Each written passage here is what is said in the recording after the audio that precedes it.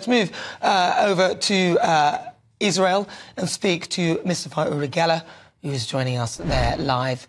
Uri, now, can we get some perspective on the recent events with Iran? Okay, I heard all your guests, uh, and I'm answering your guests and your viewers. Now, listen, I want to tell you something. The Middle East, where I am now in Israel, is on fire. Hamas, the war in Gaza, Yemen, the Red Sea, Iraq, Syria, mm. terrorist groups killing American soldiers. But, and this is so important for your viewers to understand, there is one country which is behind all this, and that is Iran. You have to understand Iran funds, trains, and equips all these terrorist groups.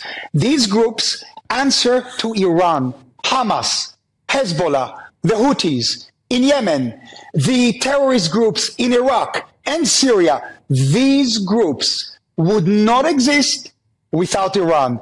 But let me tell you something right now and very important.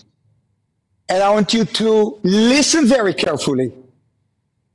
Whatever you're seeing happening in the Middle East now will happen in Europe and will happen in Britain if Iran isn't stopped. Yes, Iran has spies and agents busy at work in Britain. It is radicalizing young British Muslims at universities and your own counterterrorism police have already uncovered 15 plots by Iran on British soil. Let me show you something. All right. This spoon, this spoon here, belonged to the Shah of Iran. Now, let me tell you why Britain needs to wake up and the world needs to wake up and take this seriously. Iran used to be a modern westernized country until the Islamic Revolution in 1979. Iran's rulers follow a fanatical belief that Iran must spread this revolution across the world, including Britain. And they are willing to make this happen either covertly or violently. Now, here is the most important and shocking part of what I want to say.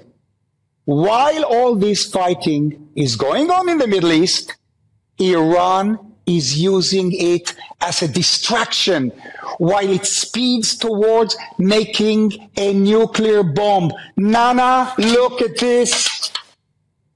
A nuclear bomb. Look at it carefully, everybody. Uh, yeah, no, Only last week. That. Wait, wait, wait. Let me finish. Quickly, Only last week. Only last week it was reported that Iran could produce enough material for 12 nuclear bombs in just five months. If Iran gets nuclear bomb, then the game is over. And do you know who will survive? Maybe, maybe this species will survive. No maybe, if at all. Uri Geller, thank you so much. Always good to talk to you. That's Uri Geller live in Tel Aviv.